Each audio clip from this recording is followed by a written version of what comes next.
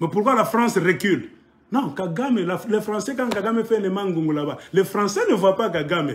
Les Français voient derrière Kagame les États-Unis d'Amérique. C'est-à-dire, les Américains lui disent, va dire à Macron ceci. Kagame est là-bas, yes. Euh, les relations ont toujours été compliquées et nous pensons que les Français doivent nous dire la vérité. Tout ça, c'est pour attaquer les Français. Que les preuves que vous avez, quand l'avion était tombé, c'était les Français qui étaient sur l'endroit là-bas. C'était les Français qui avaient prélevé les morceaux là-bas des, trois missiles qui avaient shooté l'avion d'Abiyarimana. C'était les Français qui ont collecté toutes les informations. Ils, se sont, ils les ont mis même dans leurs ordinateurs. Les Français ont toute la vérité. Et comme ils sont voisins, traditionnellement parlant, ils sont nos amis, nous partageons la même langue, la langue française. L'Amérique ferme la porte. France, tu ne retourneras jamais en Afrique centrale. Et qui dit Afrique centrale dit quoi? Le Congo.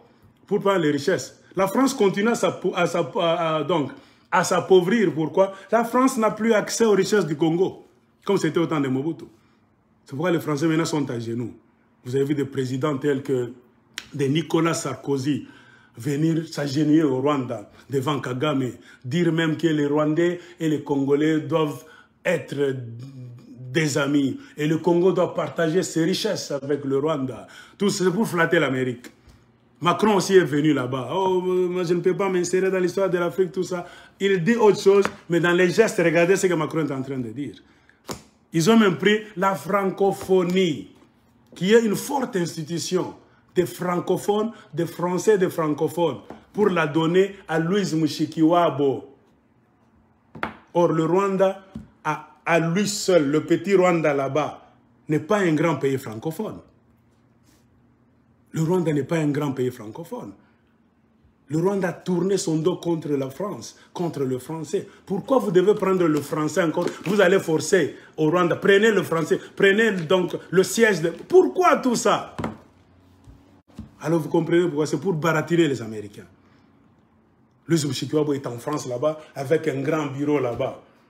Tout ça, les Français veulent lécher les bottes de Kagame, c'est-à-dire lécher les bottes des Américains. Avec pour mission, ce n'est pas pour aller au Rwanda, il n'y a rien. C'est pour rentrer au Congo. La France veut retourner au Congo, mais elle le fera comment? Via le Rwanda. Allez vous agenouiller chez Kagame, n'ouvrez pas vos dossiers là-bas des juges bruguières. Vous connaissez beaucoup de choses sur le génocide du Rwanda que Kagame, c'est lui qui a tué, c'est lui qui a déclenché le génocide. Nous savons que vous avez les notes. Vous êtes une puissance, vous avez aussi quelques images satellitaires.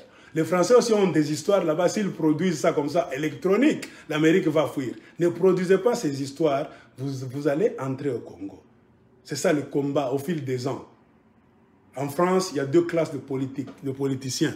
Il y a une classe qui dit, nous n'allons pas nous ingénuer devant les États-Unis d'Amérique. Nous sommes Français. Il y a d'autres qui disent, ah, agenouillons-nous, mais pour qu'on puisse avoir accès au Congo. Donc, c'est le dilemme dans lequel se trouve la France, la personnalité. Nous sommes une puissance. Être ridiculisé comme ça, et pourtant nous avons des caisses, là où il y a la vérité. Nous pouvons ouvrir ces caisses là-bas, boîte à Pandore, l'Amérique va fuir. Quand vous comprenez, vous suivez le langage des militaires français, eux sont catégoriques. Nous n'allons jamais demander des excuses au Rwanda et aux États-Unis, car c'est nous qui avons fait cette guerre. Ce serait donc salir la mémoire des Français qui ont donné leur vie pour cette guerre. Nous connaissons la vérité. Maintenant, les politiques, les hommes en cravate, c'est eux, les Français qui...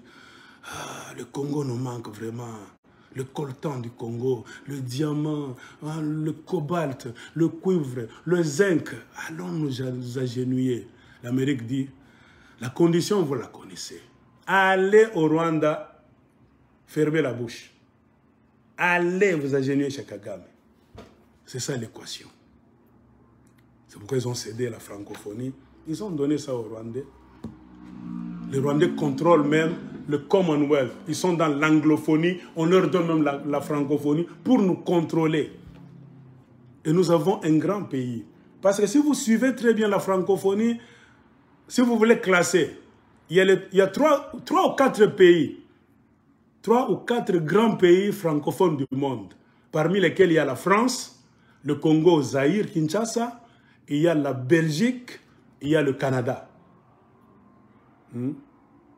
Quand vous suivez bien, les quatre grands pays francophones du monde, Il y a le Congo-Kinshasa, la France, la Belgique et le Canada. Mais en Afrique, là, tout le monde est derrière. Mais par ordre de fierté, les Français vont vous dire que c'est eux les premiers francophones du monde. Non, les Français sont des Français parce que c'est leur langue naturelle. Mais les premiers francophones du monde, ce sont les Congolais, c'est nous. En guise de nombre, quand vous regardez le nombre des gens qui parlent français, qui utilisent la langue française par jour, hein, la grande quantité des gens, le grand nombre de gens qui ouvrent la bouche tous les jours pour parler français, ils ne sont pas en France. Hmm? Ils ne sont pas en Belgique, c'est un petit pays comme ça. Ils ne sont ni même au Canada, parce qu'au Canada, c'est l'anglais, à part Québec. Hmm? Là-bas à Montréal, c'est on parle français. Donc, le nombre industriel des gens qui ouvrent la bouche par jour pour parler français, faire la promotion de la langue française, c'est les Congolais de Kinshasa. Mais pourquoi on nous prive ce privilège? On prend le français, le trophée. C'est nous qui allions trôner au-dessus là-bas, sur le trône de la francophonie. Il devait y avoir un Congolais ou bien une Congolaise assise là-bas.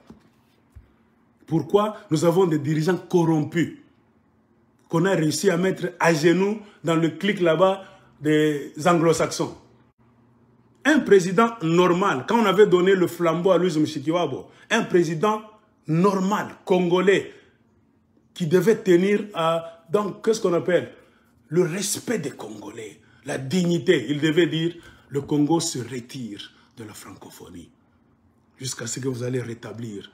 Parce que la France, dans le français, si vous suivez très bien, c'est une langue en voie de disparition. Si vous suivez très bien. Lisez, on va vous dire, le français, c'est une langue en voie de disparition. Si vous laissez le français chez les Français eux-mêmes, un an c'est beaucoup, personne ne parlera plus français au monde. C'est nous les Africains qui faisons raviver la langue française. Les Sénégalais, les Togolais, les Congolais, c'est nous. Ils nous ont laissé cette langue. C'est nous qui, poussons cette langue, qui maintenons cette langue. C'est ça le vrai mot. C'est nous les Africains qui maintenons cette langue. Hein? Et le grand nombre de gens qui, qui maintiennent la langue française se trouvent au Congo. C'est-à-dire ces gens-là nous doivent respect. C'est-à-dire nous sommes les porte-flambeaux de la langue française dans le monde, nous les Congolais. Mais pourquoi on ne nous respecte pas? Parce que nous avons des politiciens idiots. Un président congolais, quand on faisait les pourparlers là-bas, oh, eh, est venu, eh, le, Rwanda, candidat, Macron s'assoit là-bas, un président congolais devait envoyer un message. Monsieur Macron, donnez-nous cette histoire. Si vous ne nous donnez pas ça, nous allons nous retirer de la francophonie. Et si le Congo-Kinshasa se retire de la francophonie, voilà, ça tombe directement. Parce que la francophonie, ce n'est pas le français seulement. C'est une histoire ingénieusement mise en place avec pour prétexte le parler de la langue française, mais derrière ça, il y a la politique, les richesses. Et les Français veulent revenir au Congo. Si les Français veulent s'agenouiller devant Kagame, ce n'est pas pour demeurer au Rwanda, c'est pour avoir accès au Congo. Car les Américains ont déjà tracé un plan. Tu ne peux jamais aller au Congo sans passer par le Rwanda. C'est comme je vous ai dit.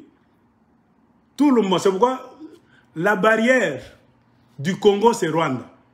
C'est pourquoi comprenez beaucoup d'autorités, ils ne viennent plus à Kinshasa comme c'était auparavant dans de Mobutu. Ils passent à Kigali tous. C'est à partir de Kigali qu'on leur dit, tu veux entrer au Congo, exploiter quoi, faire quoi. Car c'est Kagame qui est le gardien du temple maintenant. Comme Mobutu était le gardien du temple au temps du Zahir, pendant la guerre froide. C'est Kagame qui est le gardien du temple. Kagame devient gros là-bas, têtu, à cause, grâce à nos richesses. Quand on lui a donné le devoir de garder nos richesses. Vous comprenez pourquoi on est en train de nous faire la guerre.